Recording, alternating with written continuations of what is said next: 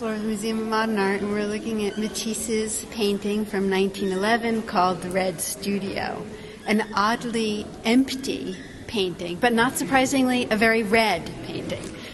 given the title. It's a. Uh, And red is normally a color that uh, might be kind of scary or violent, but it doesn't feel so here at all. no, and when you see the painting in person, the red is really a kind of a deep red, right? It's almost a dark red. The paintings inside it are bright, That's true. and these are Matisse's paintings. And it, then there's no sense of violence or fear at all. In fact, it feels very contemplative and kind of quiet, Yeah, actually. it does. Well, it's his studio, right?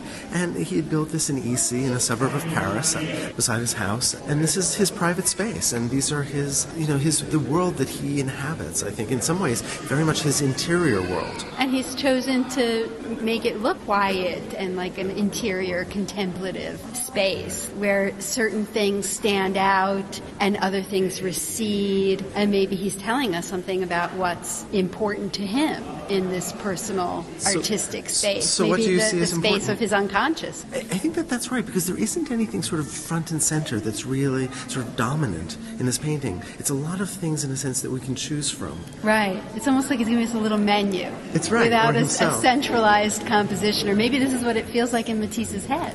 Well, that's These little isolated items that come together in this one space but without a real focal point. You know, our eye moves from the lower left up and around to the lower right. And Actually we kind following of the clock, right? That's true. Which is- a clock which which has no hand. That's true, but I do kind of, you're right, I do kind of look at the whole painting in a kind of clockwise motion. I start in the lower left, and I do, I, I wrap myself around looking at his paintings and, and the other things that actually have color in the, in the canvas. There's that cutting of nasturtium in the vase on the table in the foreground. Right, and it looks like some crayons, maybe some crayons or something like that in the lower right corner of the table, and a plate and That he had painted, it looks like, right? Right, it looks like mostly what we have here are actual works of art by or the Matisse things, himself. or the things that he uses to make art. Well, like the crayons that you pointed out, and then is that I think there's it's a vase of brushes perhaps in the in the Mm-hmm. background on the on the bureau. the chair is also kind of stands out. Yeah, and the chair is always sort of funny for Matisse because you know he had made that comment which he got a lot of grief for ultimately. About an armchair, Yes. about art being something A that- comfortable, like a comfortable Right. old armchair. Right. That's right. And there is something I think that is very restive here. Yeah, I- you can almost, when you think about Matisse's paintings, you can think about a nude, you almost imagine a nude odalisque almost, or a semi-nude odalisque in that chair. And There is, and there is an odalisque of sorts. If you look directly above the chair, there's that brown figure which is wonderfully pushed over, leaning, which is actually an actual sculpture that Matisse had done just a couple of years earlier called Serpentine. And we have three nudes in the upper right.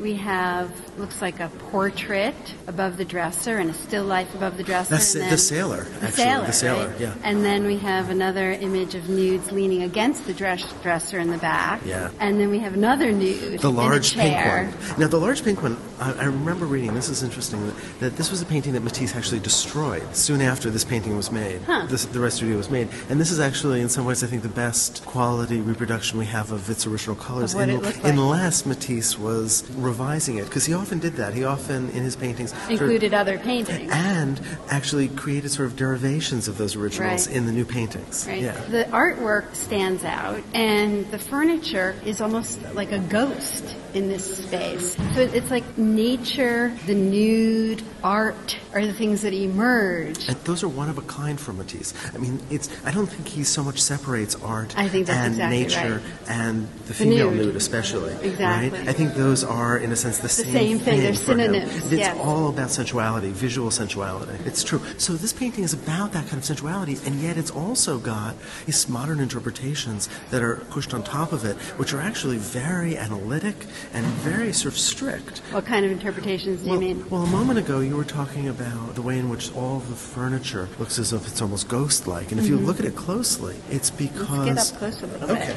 If you look at it closely, it's because those white lines are not actually white. There's yellow and pale blue and, blue, right. dark blue and green, and in fact, that's not drawn on top of the red. The red is actually drawn up to those lines. Right. And those lines are actually the paint that exists below the plane of the red, which is on top. So mm-hmm. it's sometimes referred to as a, re- a reserve line, and that's a, not artistically very difficult to do, but it's, it's some trouble. And it was a very specific choice. And it also sort of indicates that he really must have thought this whole thing through before he did it, which sort of belies the feeling of the painting itself, which feels more I think spontaneous. I think that was a real trait for Matisse. I think he worked very hard to make things look very easy. So then the question emerges: Why? Why all that effort to the lines look as though they are they look on top, but they're really underneath? Why? Why would he have done such a thing? Well, I have my thoughts about this. And actually, instead of looking at the, those reserve lines first, I just want to point out that in the upper right hand corner of the painting, we're missing a vertical line that would designate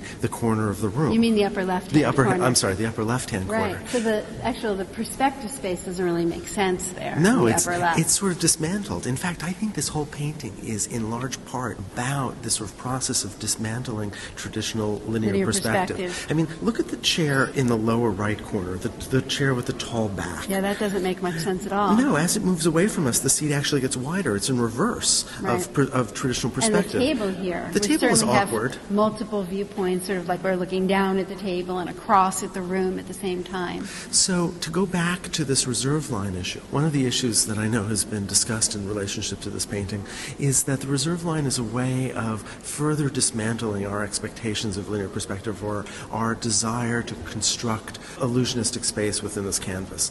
And the way it does that, and this is a little bit tricky, is to Takes what's underneath and puts it on top. Well, that's right. The red, which, if you look at it as the floor for, for a moment, is got to be in back of the table, and yet the ta- uh, or these chairs, and the table and the chairs, however, are actually constructed of paint that is behind, in back of, literally, physically, in back of that red. So the ground is actually making the figures, and the figures are actually constructing the ground.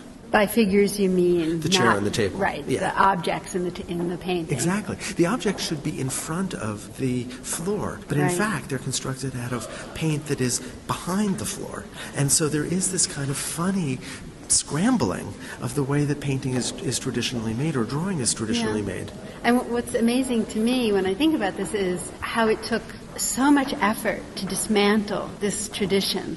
Although when you think about it, the tradition is by the time we get to Matisse, 700 years old, 600 years old, and so you know it, it's not going to take one or two or three years or a couple of artists to dismantle a, a 600 year old tradition of conceiving of art as something that is like a window into a realistic world that in linear perspective aids the creation of that realistic world. It's going to take Cezanne, it's going to take Gauguin, it's going to take Van Gogh, it's going to take And it Matisse, still it's doesn't going to take Picasso, And it still, and doesn't, it still work. doesn't work. Because look, when I'm looking at this, even though I see that there's no line in the upper left, even though the entire canvas is painted red virtually, even though we have this reverse of the figure ground relationship, even though the linear perspective of the of the of the seat of the chair in the lower right is backwards, even though we have all of these things corrupting, I still see this. I still see so, this space. so why did he do this? Is he playing with us? Is he saying, here's some space, but no, it's not there? I think that he wants us to become aware of the mechanics of Of what an artist does? Yeah, and what that uh-huh. process is. I think he, I think uh-huh. in some ways this is very modernist. What about he- our expectations? I think that's critical here, and he's and there he is playing with us.